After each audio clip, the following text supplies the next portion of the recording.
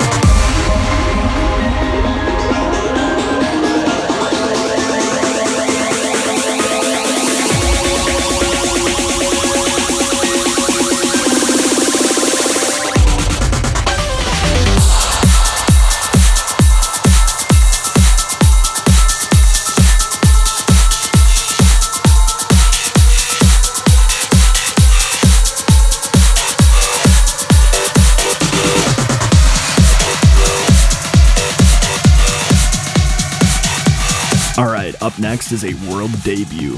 Here is mine and the Limit Breakers remix of Secret of Mana's Distant Thunder. Enjoy.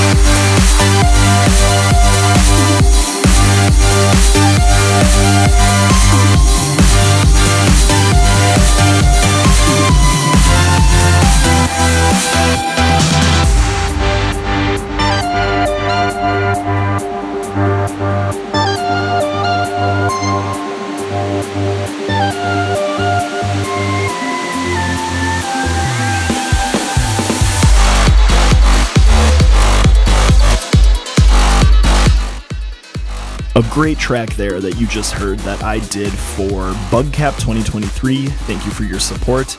That was my remix of Hoard's Timed. And up next, we've got one of my favorite games ever.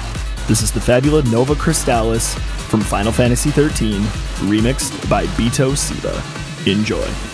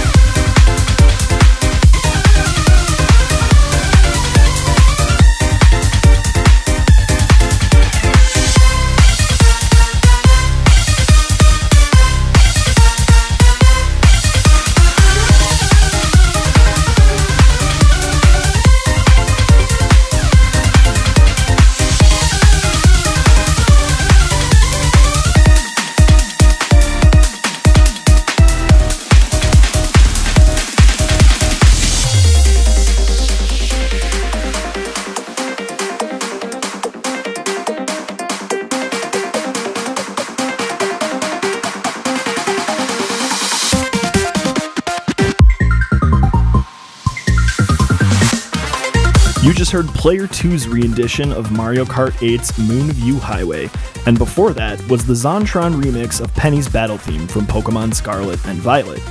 I was just recently turned on to Xontron, and oh my goodness, that guy is amazing. Up next, Mine and Noteblock's remix of the Mario Kart DS Wi Fi menu theme. Enjoy.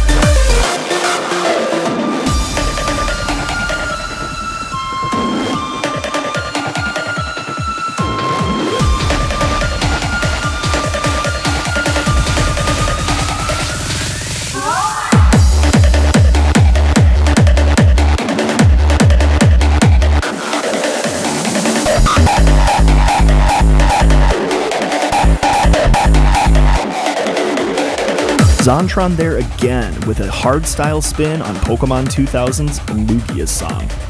And up next is my boy Equalize with the Darknut Mini Boss remix from The Legend of Zelda Twilight Princess.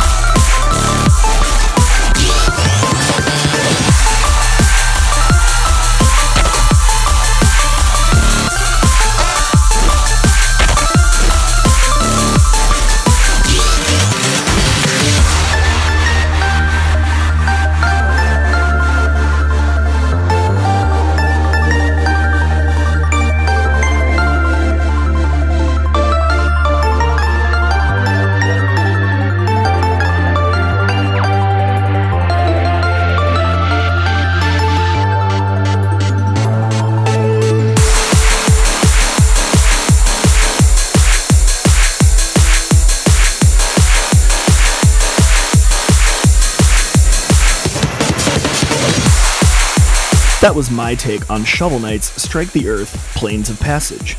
And up next is a little Mega Man X for you. Here is Blind's drum and bass remix of Storm Eagle.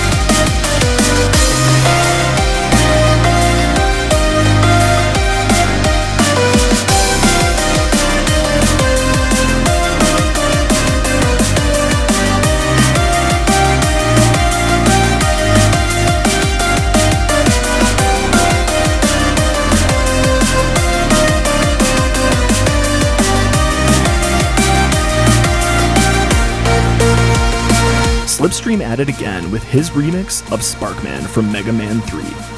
And to close out the music section, we've got Pokemon's Team Rocket Hideout Ultraloy's Chill Hop remix. Let's cool down.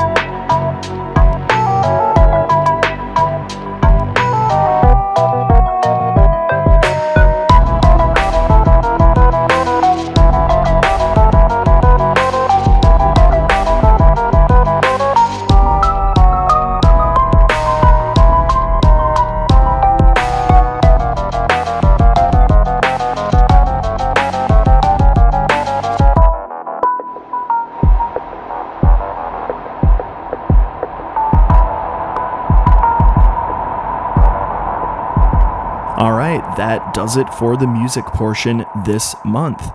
Let's get into our discussion about Ikigai. What is up? Welcome to the Music and Mental Health Podcast.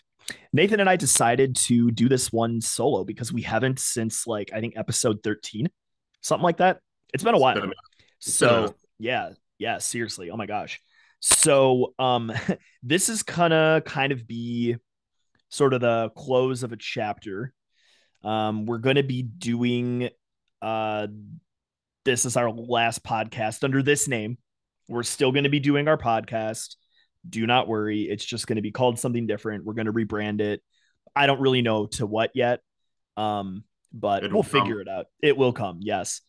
Um, so Nathan, what did you want to talk about today? Oh, first, the Music and Mental Health Podcast for the very last time is sponsored by Steve. Steve, the raging, raving banana. Steve's a little dirty right now. He's been partying pretty hard, hence why he's censored. If you're watching a video, this guy, sees, I'll tell you that. Yeah. All right, I'll put him away. Thank you, Steve. Thanks, Steve. Please, yeah, please don't sue us when when you take a shower. Um, yeah. uh, so Nathan, what do you want to talk about today? So, you know, Bentley and I were were discussing and talking about where we're at, and kind of as Bentley mentioned, around kind of a closing chapter. Um, something that's been present through our conversations and what's going on through in his life right now is the Japanese concept of ikigai, and what ikigai is is the combination of alive and life and also the benefit and worth. And it's just talking about, at its core, something that gives your life worth, meaning, or purpose. And, you know, talking about music and mental health, that is something that is very present for Bentley right now as he's transitioned into full time music and has found his ikigai. So something that I, I really would like to dive into a bit further because I think all of us in some ways are, you know, we're always lost a little bit in our lives and trying to find what our purpose is. And purpose through purpose comes motivation, energy. And if you think of it in a Venn diagram, you're in the middle. Yeah. And everything around it, you've got something you love. Are you paid for it? The world needs it, and you're great at it. And in that middle is Ikigai. Yeah. So, to you, Bentley, can you give us a little background on where you are, where you where you were, and where you are now, and how Ikigai has played a pivotal piece within that? Yeah, totally. Um, but I'll I'll say it like this. So, of course, if you've been following my journey at all, um, and I'm telling the listener, I know you, you'll know that I've had a lot of iterations in my music career. I'm now focusing on this video game music and mental health stuff. And the reason that it is my Ikigai, you know, I'm realizing this because I quit my job in May, my corporate job, and I have been able to pay my bills with music income up until now. And that's felt amazing to supplement my income, I'm doing Uber as well, which I actually love. And I've only delivered food. I haven't actually ridden anybody around yet. Um, but even so, I find it slightly addicting, which is kind of weird. I don't know. They really gamify it. That's just whatever. it's how it goes. But um, no, like to be able to pay my main bills with music is something I've never been able to do really before in my life, except for when I DJ'd one of the horse shows that Maddie was working at and I got like a crap ton of money for it even though I had to play the dumbest music. Oh my gosh, that was that was bad. But anyways, I digress. The reason it's Ikigai is because I'm doing something that I genuinely love, right? This video game music stuff is I, I mean I'm just so passionate about it. I don't think I've ever been more passionate about something else in my entire life. The fact that when I infuse it with the mental health content and you know by typing messages on the screen during my dj sets and making the mental health content that we've been making um, and especially my new series on video games and mental health there's this sort of infusion of like yeah this resonates with people you know? And uh i'm i'm good at it you know? I have my 10,000 hours of djing in and probably production too. I don't think i've ever really calculated that but you know, and we can always, of course, improve on things, right? I'm not saying I'm a master. I'm just saying I am good at it. Um, and yeah, and I'm finally getting paid for it, which feels great. It feels great to be validated in that sense, right? You know, because previously in my previous life, trying to chase the mainstream EDM, climb the ladder there, you know, it, it was fun for a time. I learned a lot, but it was never this fulfilling ever and I don't know, I'm just really grateful I found this and I kind of stumbled into it, you know, through a really serendipitous chain of events. And yeah, I'm just I'm I'm really, really grateful. So I mean that's kind of that's kind of where I'm at right now. Um it feels really good, man.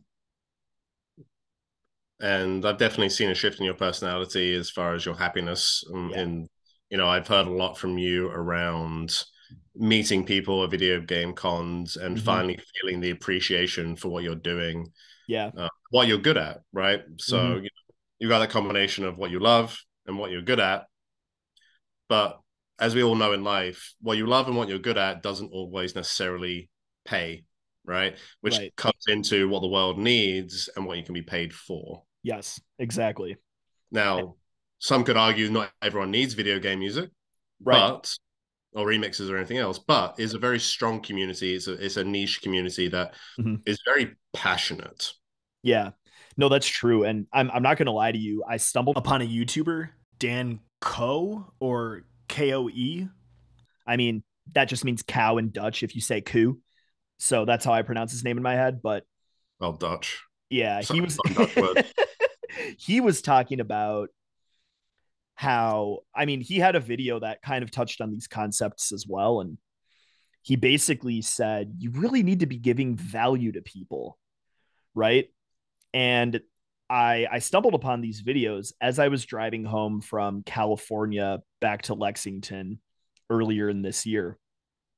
And you know, I thought, what can I do that brings value? You know, like I'm already doing the like messages on the screen as I do my DJ sets, which yeah, I absolutely stole from above and beyond.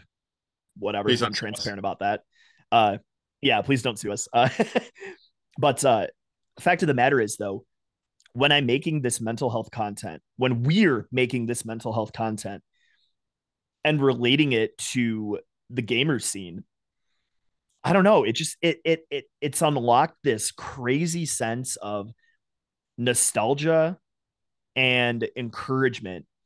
And every so every time I've done a DJ set where I've done this sort of thing, I always have somebody come up to me afterwards and say that was unbelievable. Like that really like uplifted me and like yeah i mean like i say in my bios when i have to like send someone a, a third person bio i'm like if people aren't hearing this anywhere else i want them to hear it from me right so i think that that is sort of the sense of providing value other than just making video game remixes. Because yeah not everybody needs that right?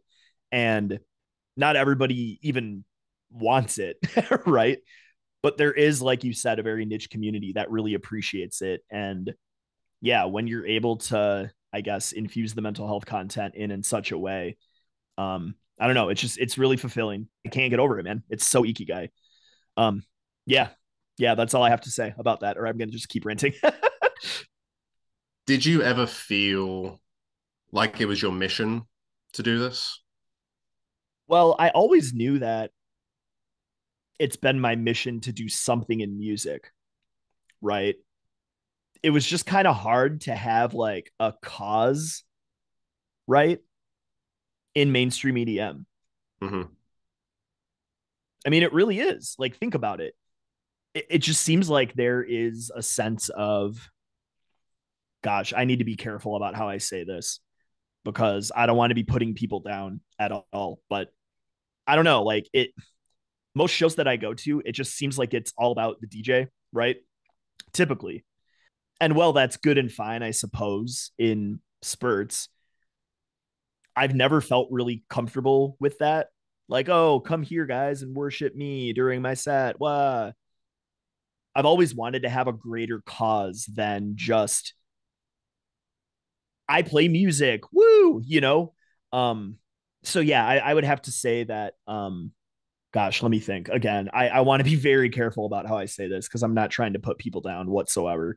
But yeah, just I, I need a cause. I need a cause to work with. I've had causes sort of in the past um, but never really within mainstream EDM. And so, in in a way, when I you know stumbled upon all these serendipitous events that got me into what I'm doing today, um, I wouldn't say that there's this like cosmic calling from the universe that I need to be doing this, but I don't know. It it sort of feels that way sometimes. Now that I mean, I'm it doesn't in it, be necessarily a cosmic calling, right? Purpose purpose comes from within. It's not yeah. divine. in that Well, then in in the sense of saying that, do you think this is your purpose? Yeah, I do. I genuinely do. and purpose can change, Right. It's just like goals, Yes. but you need to have something to work towards and an intention behind it. Right. Um, being in the here and now and present is probably one of the hardest things for people to do My goodness, yes. because we generally live in the past or Yeah. you know the the definition of wish is basically something which doesn't have any goals attached to it so i wish i could be Yeah. better i wish i i could have this in my life it has And- no intention or energy behind it We've talked about this in our life coaching sessions. Yeah, I, I absolutely agree. Yeah, and you know what I, what I want to iterate here is that you did not just on a whim do this, right? This has been a long yeah. time coming. Uh, Mhm. can you talk a bit about how you've kind of prepared your life to be able to enter into this new realm where you are finding your ikigai? Because it's it's a long journey. It's not an immediate thing. Yeah, absolutely. Well, you have to lay your foundations, right? I feel like, yeah, again, like I, I didn't just stumble into this one day with all the things that I have in place now. It's been a journey of building blocks and dare I say stepping stones. But yeah, I feel like when you have all of these things established, so first of all, there is the production, right? Because I haven't always been a good producer. I'll flat out admit that I haven't been. In fact, I tell a lot of people like, no, I just got good at producing in the last like three years, which is true. Um, it is interesting how my urge to take Jason Ross, like, okay, so I'm just gonna start from the back. My urge to take Jason Ross's master class was like, man, this is a thousand bucks. That's expensive, but like, whatever. I'm just gonna do it, see what happens. So I did it. That's where I met Brian, prophetic. We made our track together, Soul Dreamer, right there. Ha ha ha. Uh, it got played. We got on played on. Sorry, it got played on ABGT. Big deal for those in the mainstream trance scene. And, or I guess it was back then. I don't know. They've changed to more like progressive and techno. They're more chill now, but whatever. Back then, it was a huge deal for the kind of music that I like to make. And uh, that got me exposed to all sorts of other people. Brian knew everybody somehow. He knew Myon. He knew Shaheen and Neil from 11. He knew Austin Mayer. Uh, they're old Anjuna icons as well. And all of these people taught me production. Then meeting Daniel Davis as well taught me production as well. But the um the boldness that I got in messaging Myon one day, I was like, "Hey, you should give me private lessons," and he was like, "Yeah, okay." And since you know Brian, I'll give you a deal. And I was like, "What?" So flying out to Hungary and hanging out with him in his studio was revolutionary for my sound because I learned how to be more simple, right? He showed me that I was way overdoing it on the plugin side and like how I was processing everything. Because of him, I have a more simple sound. And because of him, I feel like my remixes can compete in the arena that I'm in right now, right? Because not everybody's can. Um, I remember uh, the reason that I decided to make my brand Club Ready Video Game Remixes is because I would hear a lot of remixes of video game songs, but I would never play them at a show, right? They were cool, they were good, they just weren't what I would play at a show in the club. Mhm. Um so yeah, getting that foundation set, amazing. I, I could go on and on about like, yeah, I, you know, I've built this whole list of SOPs and goals that I have to hit every month. Um, but uh, yeah, the whole, the whole focus on mental health, honestly, that happened. And the reason we even started this podcast in the first place is because when I started to go sort of more towards doing video game music and you know I was I was doing that sort of and mainstream EDM at the same time uh I I basically I had a brainstorming session and I said, "Hey, what is something that is super needed in our industry that isn't focused on that much?" And you know, I I in my research, I stumbled across, you know, like stories like Avicii killing himself because his mental health was out of control, Pierce Fulton, Io, right?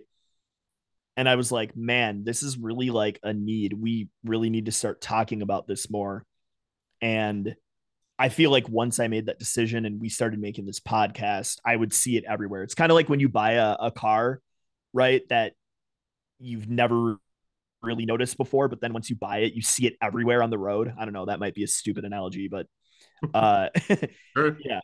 So I would say another thing that I set up is just like so the corporate job that I quit was I would write resumes for executives for like top Fortune 500 companies. I signed an NDA. I can't talk about it, but I learned a lot about business doing that as well. And one thing that I was telling you earlier, Nate, is that in this iteration of what I'm doing currently, like I'm basically I'm self-releasing everything, right? And I'm doing all my own marketing, all my own advertising, all of the business stuff I'm doing on my own. And a lot of it I learned through writing these resumes for these executives. So it's nice to sort of have that as a foundation as well, if you will. But also, I don't know, self releasing is good because now labels aren't stealing money from me anymore, which feels really good. And in fact, I'm working with labels now that are like paying me to produce songs for them, like cash advances. It's nuts. Um, and again, money isn't everything though. And I, I do want to be very stern about this, right? Like I am doing this for the right reasons. I'm not doing this so that I can make a billion dollars and be the next Zedd, right? Like I'm doing this so that I can genuinely impact people's lives. But like, you know, we need money, right? We live in a capitalist society. We need money to live. So if I'm going to make some money and be able to live off of my art that is impacting people for the better, then great. You know, I don't feel bad about that. But at the same time, in the past, I've been faced with several scenarios where I had a choice to make art or to make al- algorithmic. I have such trouble with that word. Algorithmic bullshit just to make money. And it's never sat well with me to just do that to just make money. It never has. And yeah, I guess like 16 years later, here I am with such foundations and such ethics and such goals to where I don't have to corrupt my art anymore or I'm not even faced with the decision of corrupting my art. I make what I make and it's well received and nothing feels better than that. And it is a it's hard to get here. It's a hard journey to get here as an artist. Again, I've been grinding for 16 years and most people don't see what's underneath the iceberg, if you will, right? Mhm. They just see the top of it. And I know this is one of the most like I don't know, lame analogies ever. It's so overused, but it's so true. The work that I have done to get here is immense. I have not stopped grinding for 16 years and I'm finally here and it feels good and I'm very happy about it. And I'm happy about it mostly because it is genuinely impacting people's lives and I'm not just in it to boost my own ego. Yep. No, there's a there's a lot in there, and I appreciate that. Yeah. Um, you know, the things I really heard were the want versus need, especially when it comes to money. Um, you know, there's a lot of thoughts around money does not equal more ha- more money does not equal happiness. Right? Absolutely. There is a there is definitely, you know, a baseline of needs that we have to cover, plus Right. some on top. So we, you know, we have the ability to to to the most part do what we want. But that doesn't necessarily mean that the more money you have means the happier you're going to be. Actually, it's usually the opposite. Right.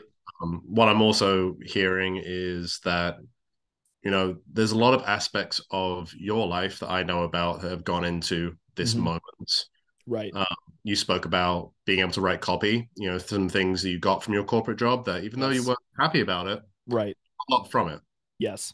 Um, your time in school, in theology, Yes. Right? Absolutely. you now have the ability to talk in a certain way and for lack of a better word preach the good word of Yes. video game music Bro, Um, literally I was I was on KFAI here in Minneapolis in a news segment. Like I made the news for video game music. Insane, right? But the headline is literally theology spreads the gospel of video game music. So yeah, like I'm all for it. Let's go. Yep. And then there was the networking aspect, right? Networking in life. I I have got the best jobs I've ever had in my life through networking. Yes. And these days, you know, as we move into a even more AI centric world, I have a lot of friends in the tech industry who have been laid off and are struggling to get new jobs, not because they're not good at what they do, is that you now have this huge layer of just getting in front of a person that is even harder. And in the Yeah. end, connecting and networking with people will always get you further than just blasting out resumes because you're just a piece of paper. And until you put yourself in front of someone, which is very hard to do, yeah. you know, emotionally, it's it can be very taxing, but you'll get much further in life for it. Um, what I also heard from you was around like you've you've spent a lot of time really making sure that before you made this decision, you had a lot of financial pieces in in a row, so you could cover your bills, so you Yes. True. do the art that you that you want to do. yes. So I did grind and save money for a while to be able to like take the leap, if you will, and burn the boat, right? So yeah. So in my mind, Yeah. you know, when it comes to speaking about ikigai and purpose, think about your life and what you have done. And you'll find a lot of aspects of yourself that can apply into what you want to do in the future and the present, right? And it can take a couple years to that point, but you have to start somewhere. And generally, that's just writing. I think the hardest thing, and I, I know for myself, it's not always the easiest, is just free writing. And, you know, you sit there with a piece of paper, you're like, my mission in life is to shit. Uh, I don't know. Be gooder and stuff. Be better at things and make Yeah. things. And uh, yeah, I'm going to go outside for a little bit. yeah. Um, but the chat I challenge people to just kind of really think about what your what you want from life, what that purpose looks like, and how you want to be present in the world. Because to get anywhere, you need to have intention, and to have intention, you need to have you know mission statement, purpose, and understand what what how you want to give back to the world totally. Because if you find something to give back to the world, it will give it back to you if you put the effort into it. And my knowledge about people these days is that you have to do about 10% more than most people, which isn't that much to actually make a make an impact in some kind of way. Yeah. Just that much more and you will make an impact. Yeah, I know. It's One- true. Well, uh sorry, do you have a question for me? Yeah. go. Uh no, go for it. Oh, sorry, because I, I I wanted to ask you, man. Like, what is ikigai to you? I want to hear you talk more because not only is your voice sexy, but you know, you're also really smart. So, I mean, it's a, and again, it's it's a concept, right? It's a framework. Um, it's something that you can live by, and all that it tells me is, you know, purpose can change, but there still needs to be a theme in some way. yeah, I've done and been a lot of things in my life. Um, I feel like I'm finally starting to ground in my future currently in Awesome. my mid 30s. But, you know, Bentley and I worked together when I was executive chef and, you know, in a kind of a good times. weird, yeah, very good times in a, in a rough place in my life in some ways, uh, post my father passing away. And, you know, I look back on all the careers I've had from photography and IT and carpentry and running a Christmas light business and all sorts of things. And, you know, where I am now is that a lot of it has to do with people skills. A lot of it has to do with common sense thinking and ingenuity. And as we are talking about networking, um, but also the practicality of life Yeah, totally. And I'm very thankful for the experiences I went through. My 20s were full of a lot of financial struggle and struggle in a lot of aspects, but I wouldn't change anything. I'm glad I did what I did and made the choices I, I you know, obviously we would all make different choices in our life, hindsight 2020, but that's right, of course. That's, that's not a way to live life. Yeah. Know, Well, also, the video that I'm releasing in September about video games and mental health does touch on that note because it's about time travel. So I encourage you, listeners, if you want to hear about that, my video will be coming out next month on that. But um, yeah, it, it is interesting though how I feel like a lot of this just boils down to people and relationships. You know, um, Hmm. the b- because okay, the best advice I ever got while I was in my resume writing job was I worked with this guy who again I can't say his name, but he said that his dad gave him a piece of advice and he's like and I want to pass it on to you. He said a smart man knows everything, but a wise man knows everybody. now, I've always been good at networking, right? But when he told me that, I literally like I'm like I am living by this from now on. And again, like you said earlier, a lot of the best things uh I guess job-wise you said earlier came because of relationships with somebody and networking, right? So I did want to touch on that because Yeah.